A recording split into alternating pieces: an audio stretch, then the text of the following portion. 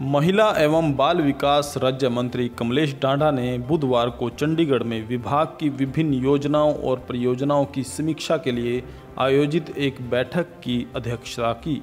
बैठक में महिला एवं बाल विकास राज्य मंत्री ने प्रदेश में महिलाओं और बच्चों के कल्याणार्थ चलाई जा रही विभिन्न योजनाओं और परियोजनाओं को पूरे तालमेल और ईमानदारी से लागू करते हुए पूरी मजबूती से कार्य करने के निर्देश दिए हैं। यह बताए जाने पर कि प्रदेश में महिलाओं की सुविधा के लिए दिसंबर 2018 से शुरू की गई महिला हेल्पलाइन एक सौ इक्यासी पर अब तक की गई छियानवे कॉल्स में से 1114 कॉल्स महिलाओं से संबंधित प्रभावी कॉल थी। श्रीमती डांडा ने तुरंत महिला हेल्पलाइन पर कॉल किया और स्वयं इस संबंध में विस्तृत जानकारी प्राप्त की।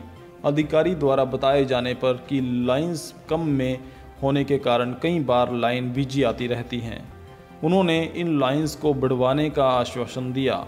बैठक में बताया गया कि बालिकाओं का अस्तित्व बनाए रखने, उनकी सुरक्षा सुनिश्चित करने, उन्हें आत्मनिर्भर बनाने, उनके प्रति लोगों की मानसिकता को बदलने और घटते लिंगानुपात को संतुलित करने के उद्देश्य से जनवरी 2015 में शुरू किए गए बेटी बचाओ बेटी पढ़ाओ कार्यक्रम के फलस्वरूप अक्टूबर 2019 तक लिंगानुपात 830 से बढ़कर 919 हो गया है। राज्य सरकार द्वारा इस कार्यक्रम के प्रभावी क्रियान्वयन के लिए किए गए प्रयासों के कारण ही ऐसे उत्साहवर्धक परिणाम सामने आए हैं और हरियाणा अन्य राज्यों के लिए आदर्श बन गया है।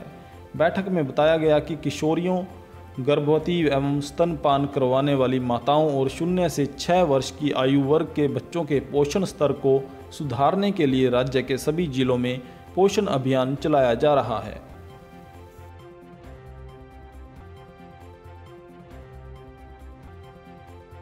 ताज़ा अपडेट्स के लिए अर्थ प्रकाश टीवी को सब्सक्राइब करें और बेल आइकन को प्रेस करें।